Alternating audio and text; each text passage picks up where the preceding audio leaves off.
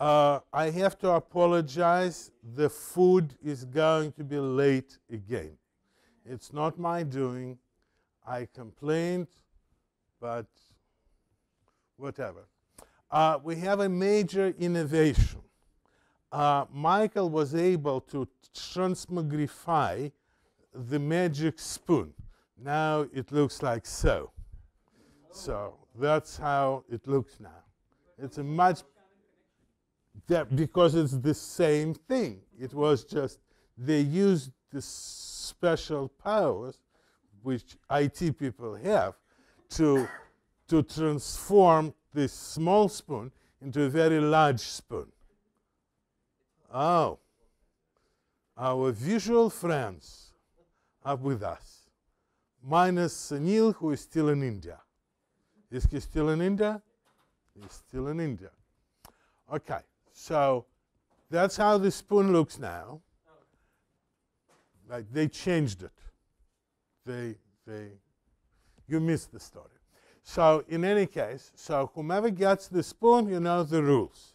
Fortunately, we will start with a little bit of just talking. I, I do assume that most of you finished min-max procedure which we were writing. Okay? If you didn't try to do it, it's good for you. And I know that it doesn't take like Ryan timed himself he was able to finish it under three minutes. So, well, okay, Ryan is very good. So you could finish it in 30 minutes.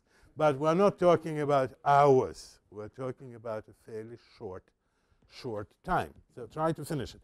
So now let us attack the problem which uh, I mentioned before, and that's why I've been hitting for, for a while the problem of finding not just uh, smallest, not just smallest of n elements, but smallest and second smallest. Uh, the problem has a very distinguished pedigree.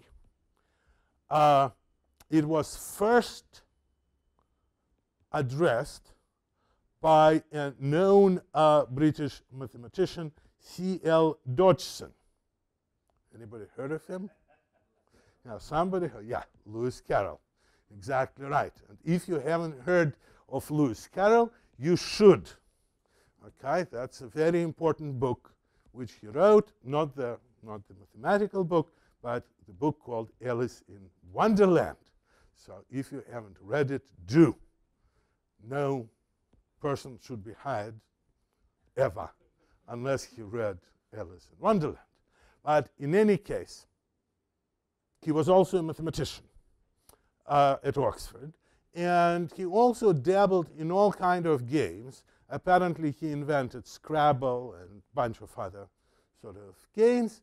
And uh, at some point, he decided that there is a clear problem with tennis tournaments he observed that with very high probability, if you have, say, tournament with 64 players, the guy who gets the second prize is actually not the second strongest.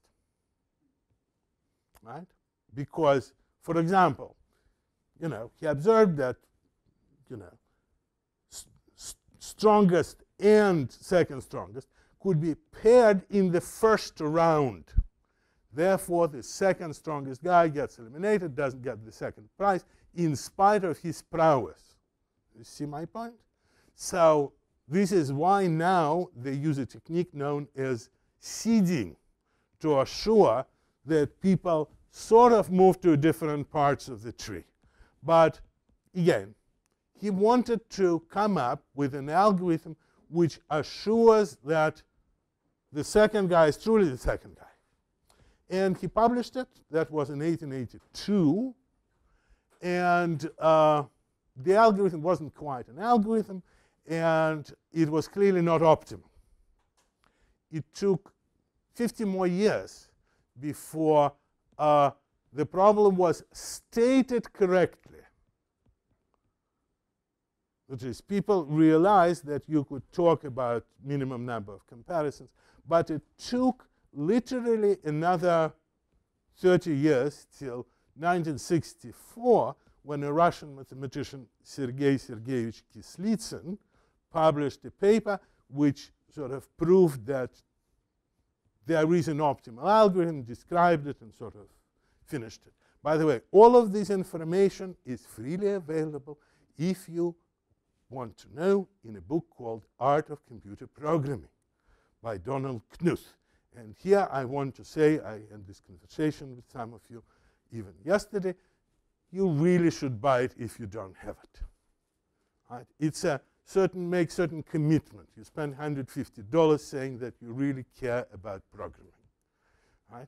And this is not a book which is useful, meaning it's not like book on uh, programming in Python for idiots or uh, you know, information retrieval uh, for 21st century or something like that. This is one of the fundamental books which you buy and you then spend on your lifetime getting the information out of it.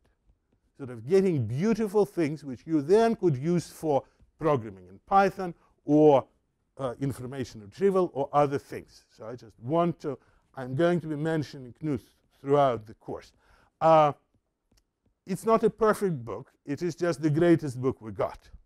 So, uh, you know, it requires sort of reading it. It's not, people say, oh, it's a very good uh, uh, reference book. No, it's, it's not a very good reference book because uh, you have to basically do linear search through, right, uh, to find what you're interested in.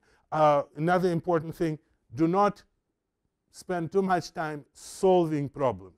Read the solutions. At the end. They're sort of very important. Lots of very important algorithms are described in the solutions to his problems. But again, it has to become a lifelong activity, reading. So the, uh, the problem of which we are talking about is described in the third volume of Knuth in the section on order selection, but somehow he does not implement it. He describes it fully, but doesn't implement it. Uh, not just in MIX, but not even as an algorithm. Because as we shall see, it's actually a little tricky. So uh, he often does that. He sort of implements things very carefully in MIX when he likes it, but when he doesn't like it, he just waves his hand and says it's very, very simple. So let us see what the idea is. Should I pass the spoon and start interrogating? The last person with the spoon is no longer with us. I guess he died. Uh, Paul, give it to someone. I don't want to know who gets it.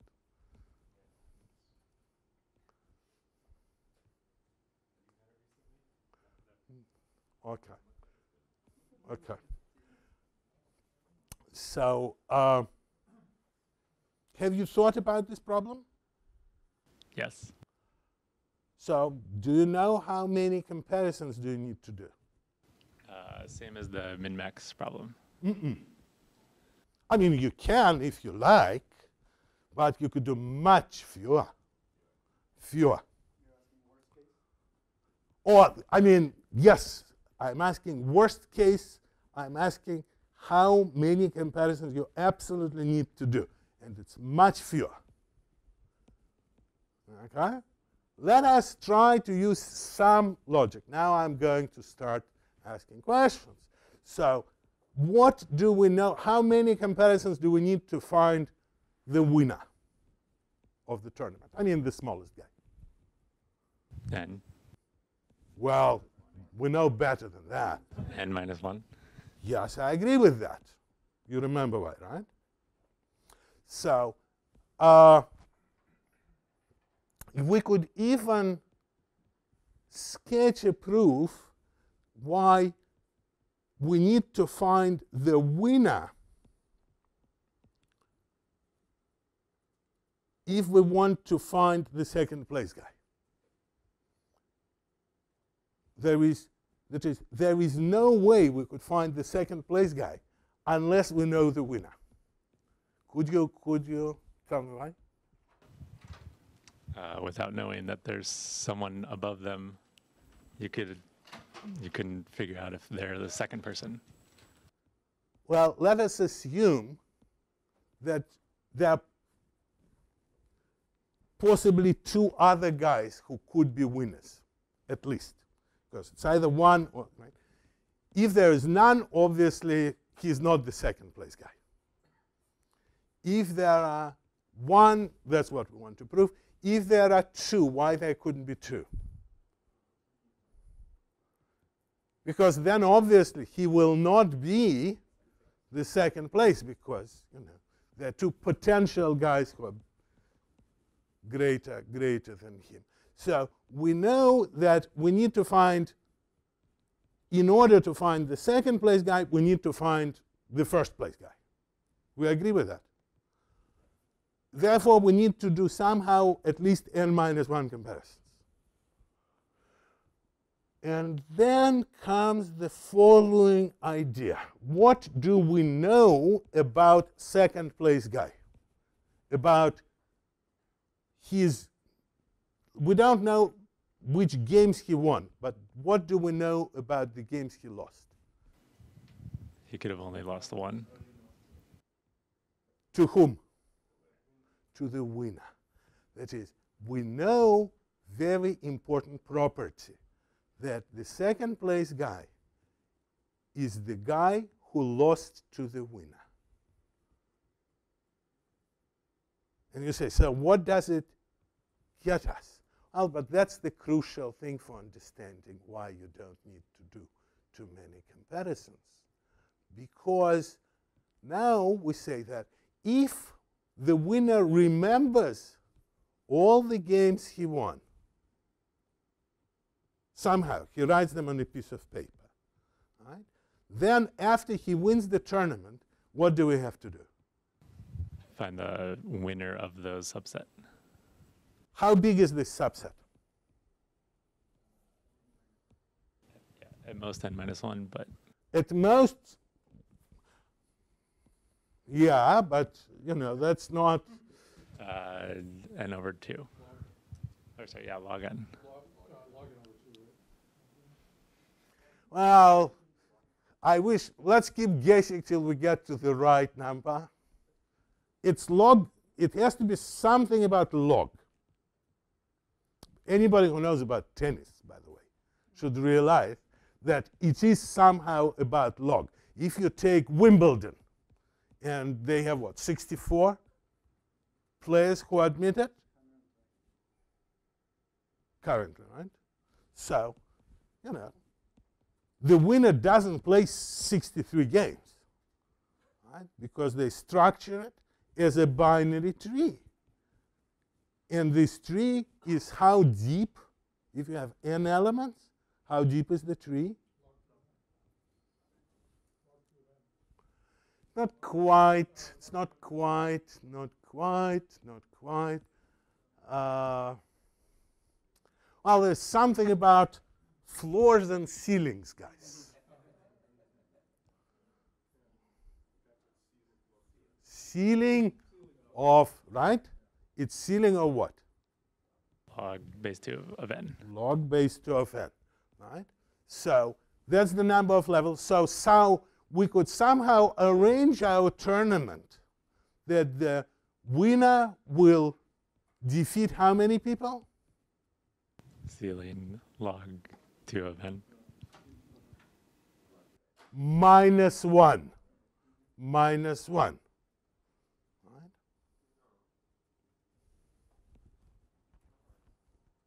Because at the top there's just this single element. No, no, no. Not min. Sorry. Not minus 1. No. Log. Ceiling of log 2 of n. Yes, my sincere apologies. But how many now, this correct question to which the answer will be the answer. I want, how many extra games do you need to find out the best out of them? Gotcha. Yeah. Log base two of n minus one. Right. So now we come up with a thing which seems to be a realistic bound n plus ceiling of log base 2 of n minus 2. Right? 1 is the first pass to get the champion, and 1 for getting the second place thing. So that is the number which we are trying to get. Yes? Okay. Pass the spoon.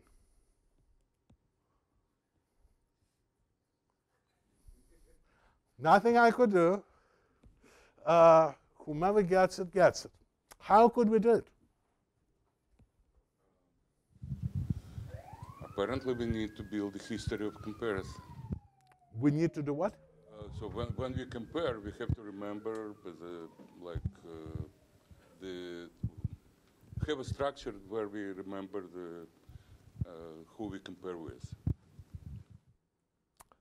We need to remember history, but first of all, let me even ignore that part. Let's not even bother about remembering history. You see, what we need to learn to do first is to play the tournament not in this way. Remember how we were finding the mean or the max? We were doing this. We were playing one against the other, against another, against another, against another, against the other, against the other, n minus 1 times. Yes? That's not a good plan. We couldn't just take our old loop and keep the history because then the winner is going to have n minus 1 matches he won, right? Everybody agrees? And we will have to, you know, we go through all the trouble keeping the history, but then we still have to do another n minus 2 comparisons. So we need somehow to transform that into the way they play tennis.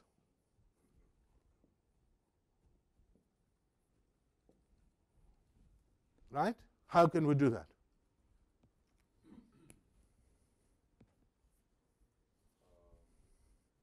Let's ignore the history. Let's just let's just concentrate on, on this. We can do like we do some some idea from sorting. Like we can divide the set on two parts and play play first round would be to play each member from say left side with the left with the right one. We could do that. That's not bad. What about the the problem there, of course, that first of all we could do it recursively, but then you know it will become sort of slow. Could we do it iteratively?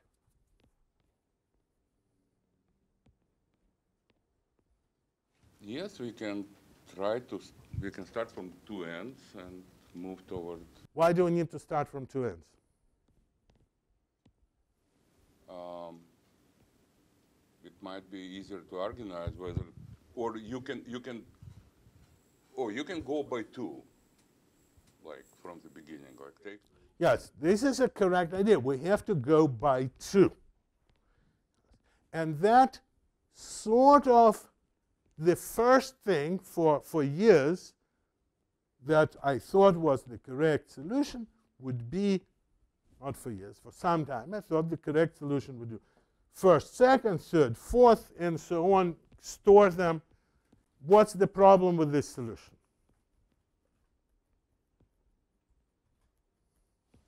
You have to take care of odd even numbers first. Nah, it's not hard. It's not hard. You take two, and then you get smaller and smaller and smaller. Sequence generally becomes one element. There is a problem. There's always a problem. Lots of memory used. We need lots of memory to save the intermediate result. All right? And let us now, another aside. Uh, what, you know, what do we mean when we say lots of memory? This is, yes, so order n is bad. And that is sort of thing. What about square root? It's actually also pretty bad. So long time ago, people thought that we will say an algorithm is good, or they will say in place doesn't require extra memory if it uses constant memory. That would be really nice. But then they said, well, it doesn't quite work because our favorite algorithm, what was their favorite algorithm? The most important algorithm in the world, quicksort. Right? So quicksort is not going to be in place because it's recursive. And since it's recursive, it requires how much memory? Log n. No, it does not need n log n. It needs log n. It splits roughly in the middle, let's assume, on the average. So it needs log n. So people said log n is good and it's still in place. They started to allow logarithmic memory. And then people said, well, but what if we have sort of nested things like that? So in, in reality, you have log square. Is log square all right or not? What do you think? They said it's all right because log is really very small. You see, you might know it from mathematics, but log is never greater than 64. well, uh, it could be greater, but not in our universe, right? So log is very small. So people said squaring it is all right too. And then you know how theoreticians are. They said it's really all right if we have polylogarithmic storage. Basically, what they said is that as long as the memory requirement is O of some polynomial of log, it's all right. So that's, that's what they say. A polynomial tends never to get bigger than square. But, you know, let's go with theoreticians and say that polylogarithmic storage is good. Right? So what we're looking for is that kind of storage. How could we get it? Any idea? So that we want to not to keep these guys all together.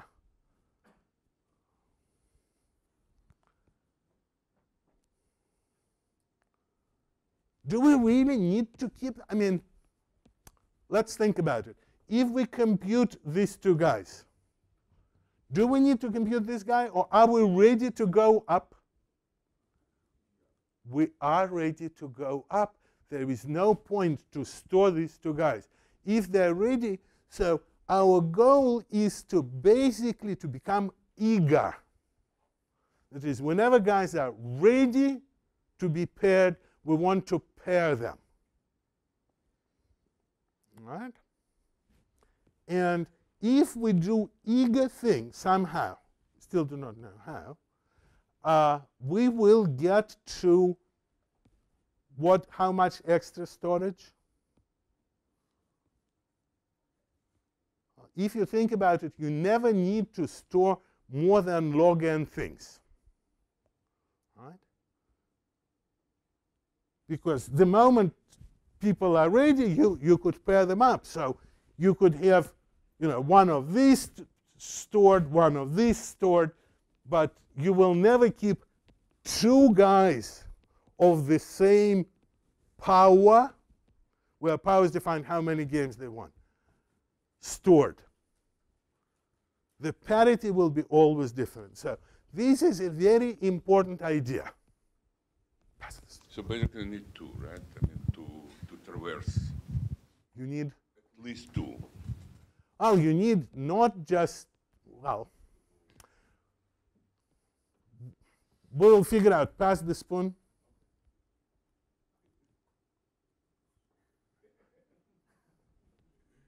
Okay. You missed. It is a spoon. Our IT people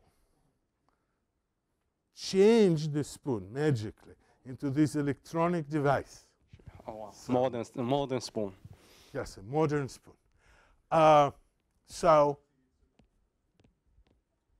let us see if we could come up with a way of writing. And here, what, what basically we need to realize that suddenly we see something which have nothing to do with our problem. The first foundation for our algorithm is the ability to take a tree like that, leftmost, you know, sort of leftmost tree, and transform it into a balanced tree. By the way, what does allow us to do this transformation? Is there some reason we could do it? Oh, oh, well, build some internal nodes. No, no, no, but why could we take this kind of computation and convert it to this kind of computation? When can we do this transformation? Oh, if it has uh, associativities. Very good. You see, what this is the central intuition here that as long as our iteration is associative, we could change this kind of tree. I call them reduction trees because we reduce to this kind of reduction tree. Right? Observe what we do not need, which property don't we need. What property don't we? commutativity. We never change the order. We keep them, the combination, in the same order. We just rebalance the parentheses. Right? And it's actually important for our problem because if you think about it, our min is not quite commutative. Uh, mathematicians' mean is commutative, but ours is not quite. Why not? Because you want to keep stable. because we want to keep stable. We distinguish between the left and right argument. But it is associative. Therefore, we could do this transformation. Right? And here we come to this amazing idea of how to do this transformation. This, this is one of the most beautiful ideas which they kept secret from you. They have, should have taught it in the introductory programming class in high school, but you know, they want because they want to publish papers themselves and not tell you a general mechanism. So let us see why we could do it. What's the algorithm for doing it? The algorithm is actually I could Socratically derive it, but I I will cheat. I'll just tell you a little bit. You see, let us assume that we, we have these elements which we are somehow combining with mean, with plus, with merge, with any other associative operation. What we could do, we could create a counter. And in every bit of this counter, we're going to keep something. And it's going to be like a binary counter with, uh, I'm going to write it from left to right. So this is bit number one, this is bit number two, this is bit number, say, uh, let's make it 32. We will see that it seldom gets beyond 32 because what are we going to keep here? Here we're going to keep things singletons. Here we're going to keep guys who won or had one victory. Here we're going to keep guys who had two victories. Here we're going to, do I have to continue? So the idea is that we, as long as we use this structure, we are never going to combine things of different parities. We will never combine things sort of unless they are of the same weight. And why, by the way, why did I limit it with 32? Anybody knows? Well, uh, practically, so you, you you never have that uh, two to thirty-two number. Yeah, you know. This is going to be, the next one is going to be 2 to the 33. But we're actually in our code, we will make this a parameter, template parameter, whether it's 32 or not. It's easy. But in reality, it's not going to be too big because, you know, doubling is a, it goes very, very fast. So this is a wonderful device. And we could use it everywhere when we need to transform the leftmost reduction to the balanced reduction. One thing, we have to start writing code. Well, that's Okay. m- not my expertise, but Yeah, it is your expertise. Come on, you're a crack programmer. Is this one global counter or one per item in the collection? It's one for our computation. Okay.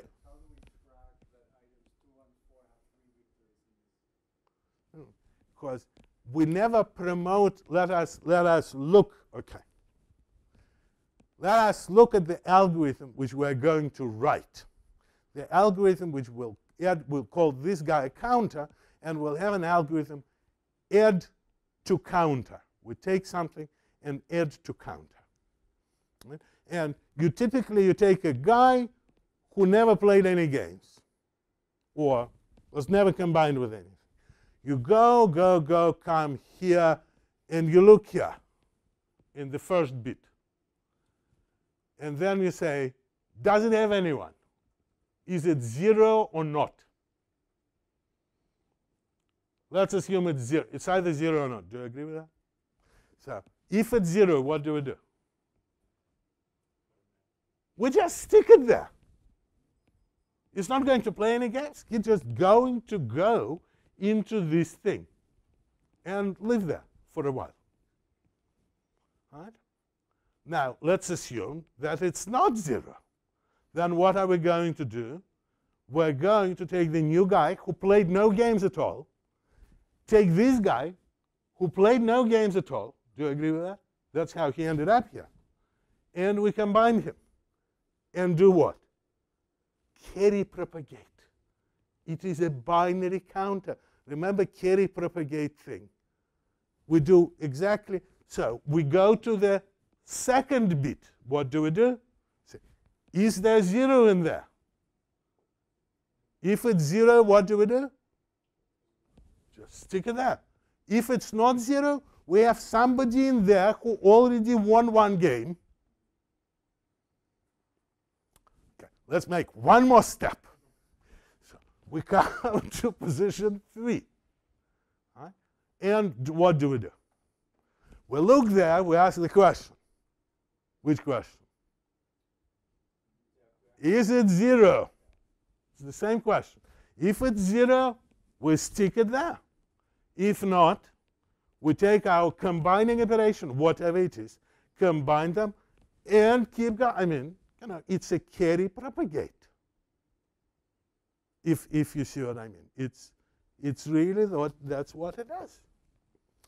Now, of course, before we put Ranping on the spot, writing code, let's figure out what happens if we reach this guy. well, th- that would be the winner. Well, let's assume that's the Now, and let's assume there's somebody there. That's called an overflow. Could be an overflow. I mean, this is exact analogy of what we do with, you know, with integers. right? Except they're no longer, int- this is no longer really 0 and 1. Well, it could be 0 and 1, but it could be some other thing which is combined with an associative operation. Right? So when we get here, let us come with a very simple solution. We don't really know what to do, right? We don't. And not at present, because maybe we could grow this thing. Maybe we could. uh, We don't know. We don't know how to proceed. When you don't know, do something sensible and let whomever uses it figure out. What is a sensible thing to do? Through exception. No, that's a, that's, okay, here we see the difference between, okay, I'm not going to say, I mean, you know, he is affected by years of Java programming. No, you do not throw exception. It's a good thing. We just reach the end. So what should we return?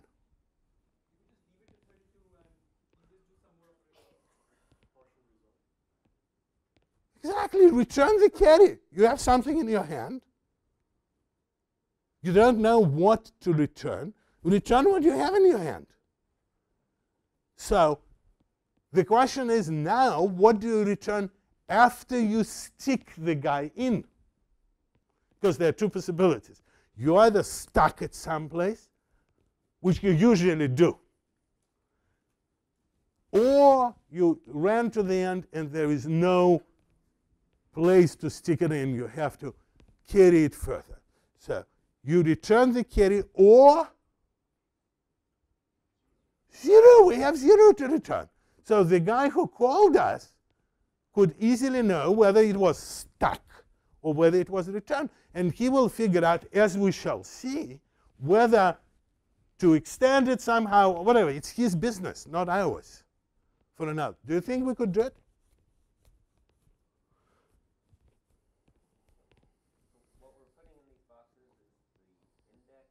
I don't know what we're putting in these boxes.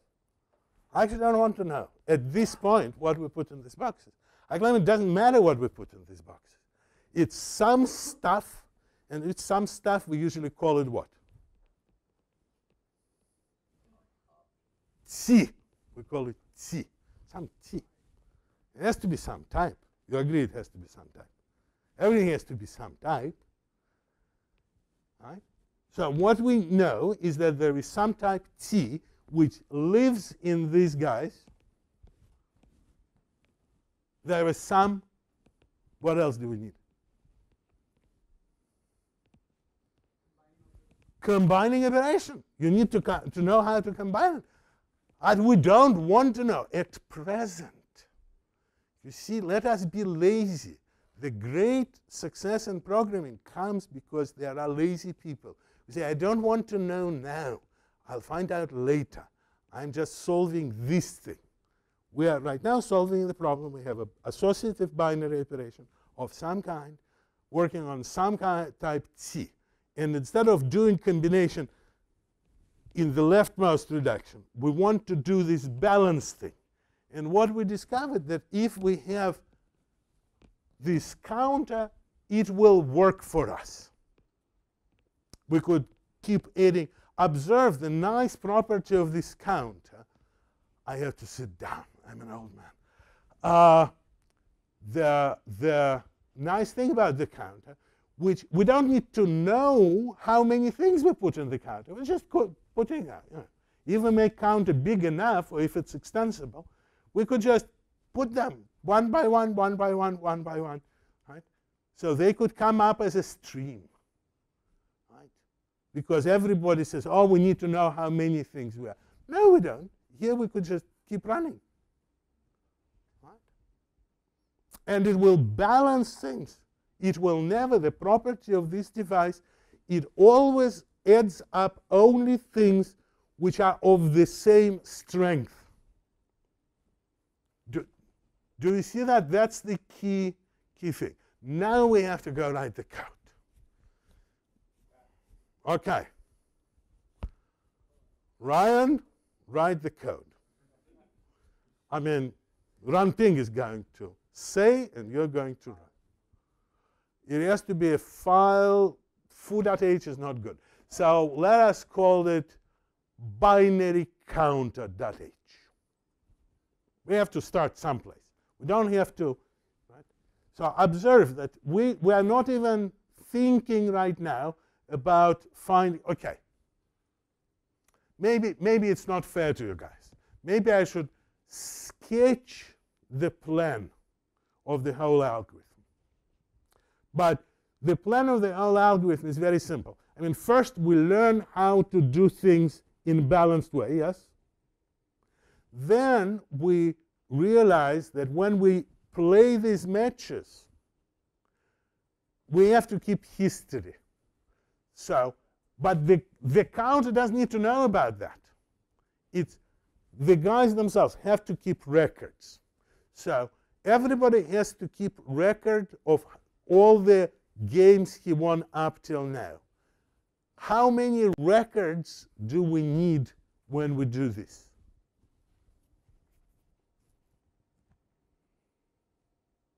What's the upper bound on the amount of records guys have to write down? How many guys are going to be here? How many? Zero. huh? How many guys are going to be here? One. How many guys are going to be here? That's two. Three. All the way up to 32. So, well, it's 1 up to the 32. It's roughly 32 square over 2. Well, it's 32 times 31 over 2. Right? As Gauss proved when he was 8 years old. Uh, so, when we, when we get it, so in other words, what's the memory requirement? The square of the log. Square of the log. You see, so I'm just showing you that, you know, we, we are good if we could do that. If we could come up with an operation. Of course, there are another thing which somebody who goes ahead and thinks about it, we need to take care of. Uh, you see, when we're exhausted, they might not all be reduced to one guy. There might be several guys left. So we need to run one more pass. Right? Remember, I mean, the, the first we do just powers of 2, and then we combine remaining powers of 2. But it's again, it's, it's all right. Right? Yes? I'm completely lost. What, what is, we're trying to get the second guy? Is this the, the goal? Yes, but w- yes, that's the goal. But we could do a million other things. That's the whole point. We're trying to find what is the underlying algorithmic primitive. Because what we observed, okay, let me, this is very good. By the way, guys, this is example you, all of you should follow. If you are lost, ask. Right? So let, let me repeat our sort of grand plan. Out of the grand plan, we observed that you know, when we were looking for minimum before, we were comparing first with second, then the result with third, then with fourth, right? So what could happen is that the guy who wins plays n minus 1 matches, right? Not necessarily, but it's possible. It's possible. And with relatively high probability, he's going to be at least n over 2. Right? So we will need additional bunch of matches on top of n minus 1. We'll have to do potentially another n minus 2 matches, the worst case. Do you agree? To find the second place. Because after we find the winner, after n minus, we know we have to do n minus 1 to find the winner. Right? But after we found the winner, anybody who lost to him could be the second place guy. So we have to assure that the winner doesn't win n minus 1 matches himself. It would be terrible for us. Do you agree with that? And we do it by constructing, instead of doing leftmost reduction, by c- constructing binary. And how we do it, we come up with this amazing device which allows us for any associative operation. Okay, So, so the, at the end, at any point in the algorithm,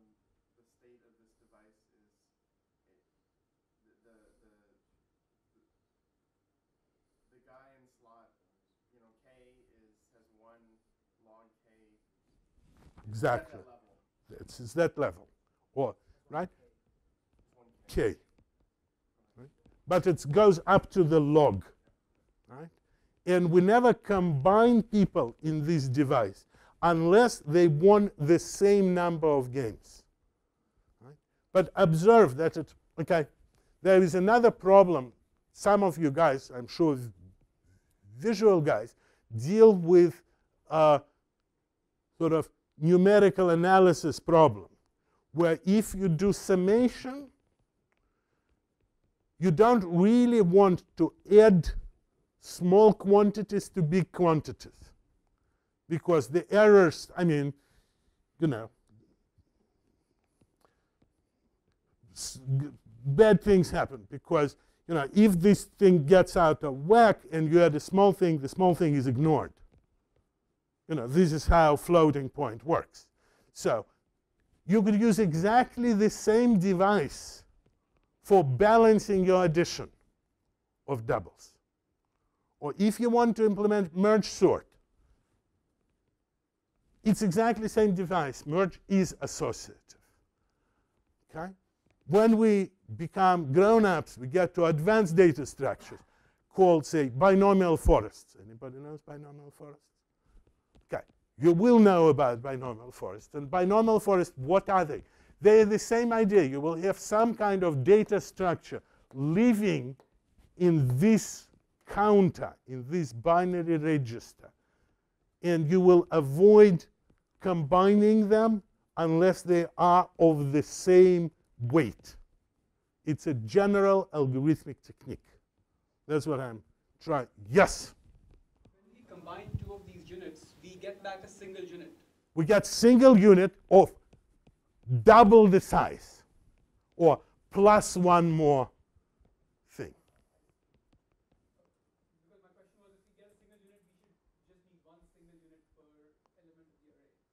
we. No, we don't need, we need, we always, com- we're eager. We combine the, you see, we store one guy of who, wi- who won no games. We store one guy who won one game. So we store one guy who, at most one guy. We store, we either have such guy or not, right? So basically what it is, what we do, if we have a binary tree, people at the back probably cannot see it, but I'm drawing a binary tree. What, what we do, we sort of traverse it. We, we construct it, but we traverse, traverse it like that. We do this, this, this, this, this, this, this. If, if you see what we, we do not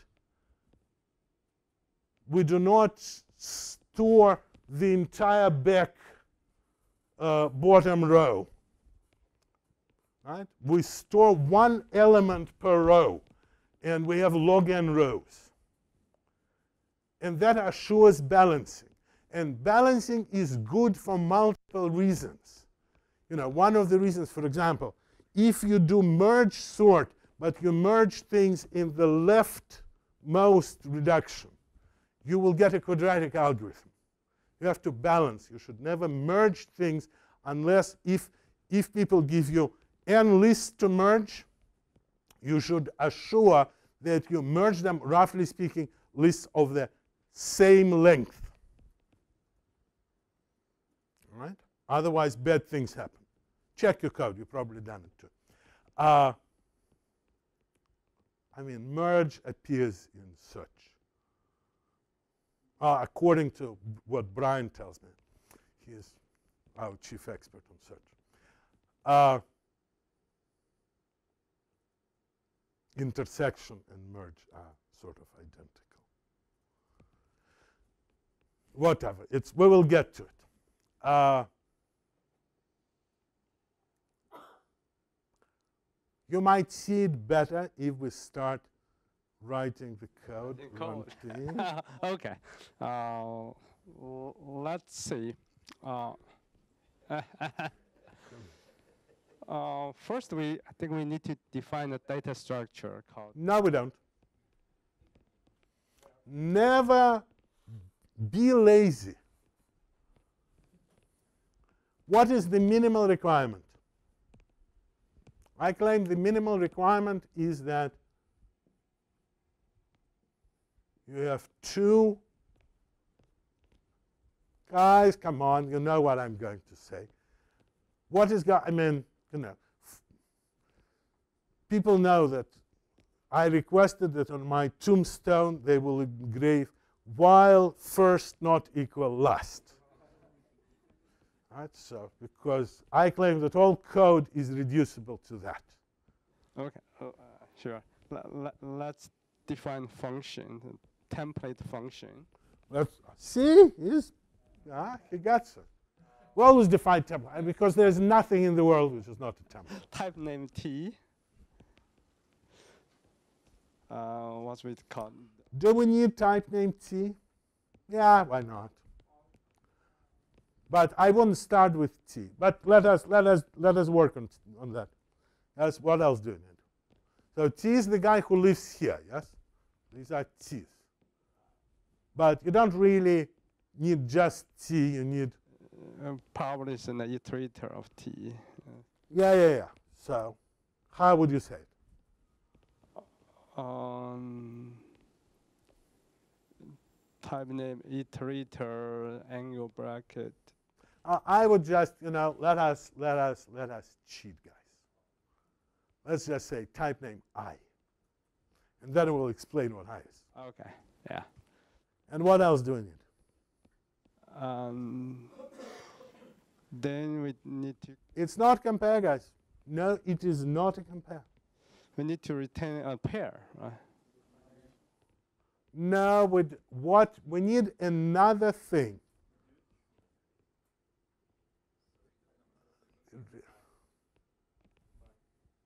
A combining, yes, a function which is going to be used for combining things. Right. Kind of, then comma combiner. I would call it B, and then I would explain that it's actually binary operation. Okay. Uh, Or actually, let's call it op. I think it's much clearer if we call it op since I, so okay. We require the type T is associative. uh, no, we do not require the type T is associative. The, the operation over T is op- associative. Right. So you said two things. You might not have noticed it. I mean, you said that operation is a binary operation on T. That's that's a requirement. You have to say that. OP is um, binary operations over T. Huh? And Uh, OP is uh, associative. huh? everybody understands what it means? Oh, binary operation is something which takes two things of the same type and hopefully returns the thing of the same type.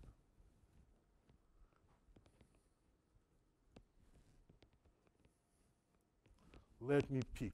No, no sign. And it's pizza today, guys. It's our lucky day. You can. Um, is associativity something that you can assume of a type, or is it something that you have to specify you know, as a precondition for, for a boundary? I mean, associativity doesn't even mention type. No, but, but, but the type is mentioned associativity. No, operation mentions associativity. It's a associativity is a statement about operation. He is asking, they don't want to know. No. No. No. No. and I didn't make it last week. I know. Okay, next decision we need to make is what we want to retain. Now we know what we want to return. We agreed. We had a long discussion and agreed. No, we didn't return a pair. No, we did not return a pair. I absolutely refuse to believe that we agreed to return a pair because I remember what we agreed. What do we return if we stick it here? What do we return? An element. No, we do not return an element. We return very particular value. No, we do not return. Okay? You s- what? We return t, but which t? The the t with the uh, winning that number of No. No, we don't. No, we don't. We have a discussion. We agreed. It was. It's all on tape, guys. If you don't believe me, watch it. It's there. Who said zero? Zero. Well, that's what we agreed. That if we return something, we return the carry which went all the way past. And if we stick it someplace, we return zero. That's how the caller knows whether it is someplace or not. We're not telling the, the guy where we stuck it. It's none of his business. It's just none of his business. That's what we decide. okay So what do we return? integer. Int. Now we don't return int. We return t. Yeah, Nick was right saying t. He was not right not saying which specific t we return in this case. Yeah. So yes, we will return t. Okay, so either now or not not now. Okay. Yes. Or the carry, the very big T.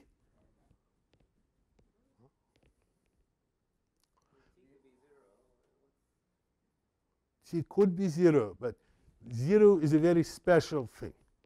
Zero is the thing which indicates that this guy is empty.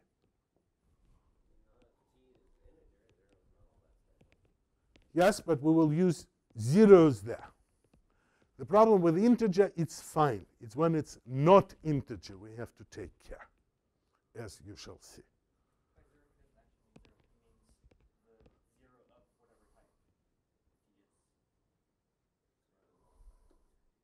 It's a marker that it's empty, that this bit is empty. Nobody lives there. Remember in the algorithm, what do we do? We come to this bit, what do we check? Is it empty or not? Is the guy there zero or not? And if it's zero, we store it there.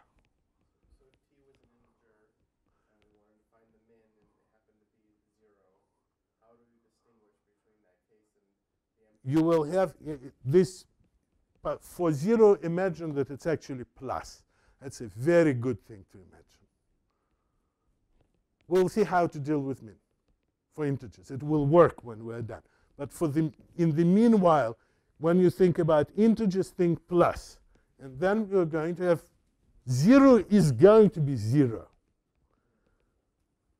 But for an arbitrary t, it's something which is a value which, it, which we use to designate that this bit is empty. For example, it's an empty list. Or what would we use for our min and max? Anybody could guess. Is uh, would be an, uh, uh, now uh, empty iterator. No, there's no such thing. Somebody answered the question. Say it loudly. Last, because we know that last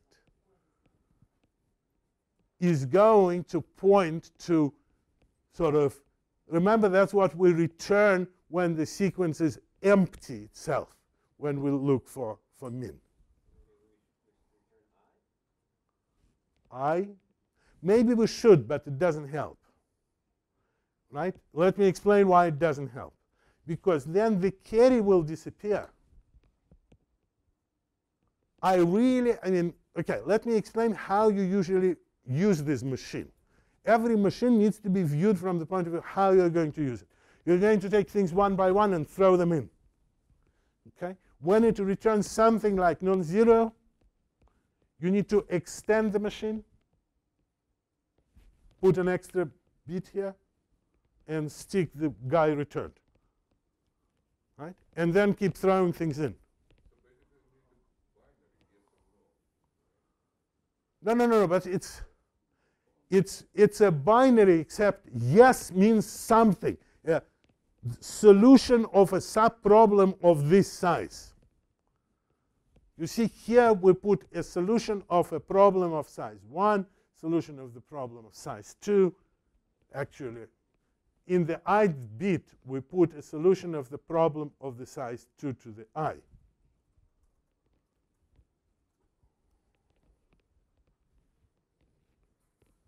Hard? There's no pizza. What? Yeah, we should write it. Yes, I agree. That's what I'm. Um, okay, let's give a try. There's one more line. There's one. There should be a requirement on I.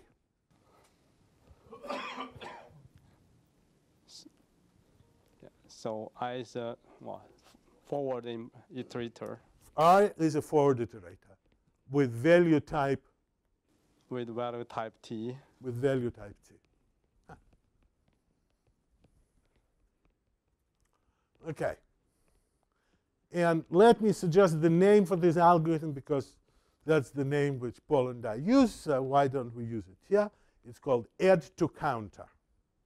By the way, for those of you who want to see even more general statement of the problem, it is in Elements of Programming, a famous book written by distinguished computer scientists.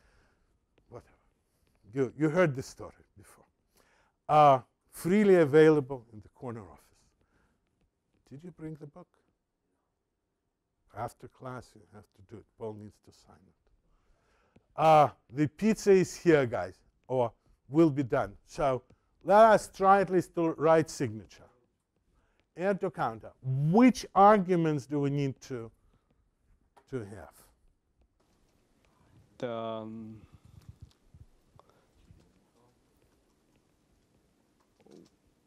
t is counter. So so they added to counter, so we have to have an counter there. No, we don't. No, we don't, guys. We don't. This is, I mean, we don't I mean, someday somebody will figure out what's the count. Is it a list? Is it a vector? Is it an array? Is it whatever? We don't want to know. Why? Because we're lazy. For the algorithm, what?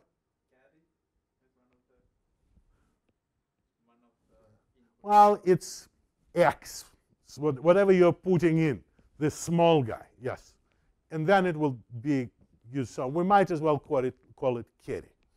And so we, but before we get, guys, how do we, how do we use the counter? We have, Yeah, that's an iterator. Yeah. how many iterators do we need? How many iterators? What is on my tombstone, guys? First and last. Right? It's always first and last. You have to start someplace, you have to end someplace. I mean, you know, you couldn't have any iteration unless you start someplace and end someplace. So let us do that. Do you agree with that? Makes sense, right? Just this, simply speaking, if you don't know what iterators are, just think they're pointers. Okay? Then what do you need to, to pass?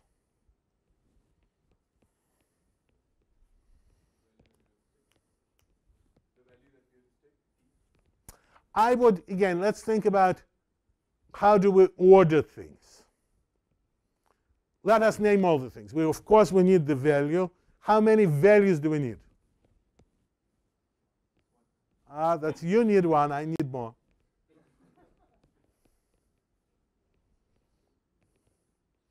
You need this initial value which you stick in, which we could call x or we could call carry. It's a very good name.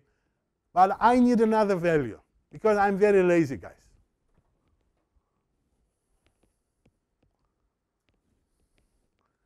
Okay, what's this step? Let us go inside and write the most important thing. What we're going to write, we're going to say something. If something is zero, how are you going to say it?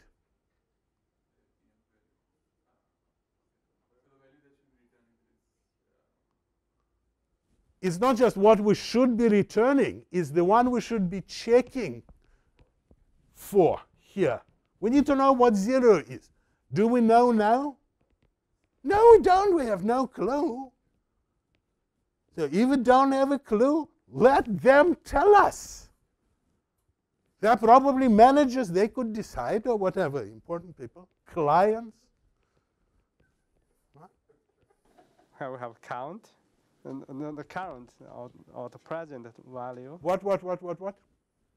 So we need to have two values. Yes? And what else do we need to have? We need two iterators. Yes, well, we got two iterators. We don't need any more iterators. You never need. If you need more than two iterators, you're in trouble. So, two iterators, if you have only one iterator, you're in trouble. So, two iterators is the nu- good number. What else do you need? Guys, yes, the operation. We need to have an operation. We agreed on that. And I think operation should come in the order before these two, two things of type T. Yes? Let me check. Are we done? Almost. They're almost done. Okay, let's do op, o, See? And then we need these two guys. And there is a tricky thing there. What's the tricky thing? One is the constant, and another one is what? Another is the need to be combined on, uh, on two. No, no, no, no, no, no. We don't need any combined. No. We just need two, two, two kind of cheese, but it's a little tricky. Okay, let's do T first element, uh, element one, T element two, and then figure out what's, what's the name would be. No. We are lazy, so so figure out the exact detail. No. Okay, so let's write x and y and then talk about. it. So I claim that one of them we know the name of the argument. What's the good name for the argument?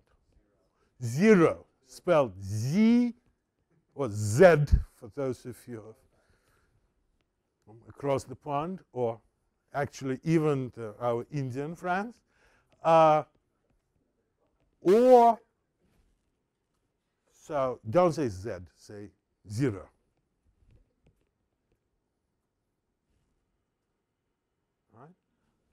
Other, other would be the candidate, or to be the things to be evaluated. But here, that this is the important thing. You know, as it will be propagating, it's, it functions like a carry. So it might be a good name for him, because that's the guy whom we're going to be modifying. And that tells us something that since we need one guy who is going to be modified, we want to pass him how? No. Quite opposite. We are passing carry by value because we want to have this local copy which we are going to modify as we go along. And zero, we are not going to modify, one hopes, at least not in the algorithm I described, so we could pass it by constant reference. Okay. And then T reference. No, it's not T reference. That's my whole point. You don't want to carry over.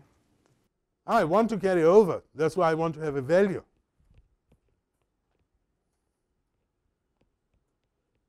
That's why passing by value is useful. If, if you know, if I want to have a local accumulator where I'm accumulating the stuff. That's that's Oh, okay. Okay. Do the carry. carry. Pizza time, guys. Ah.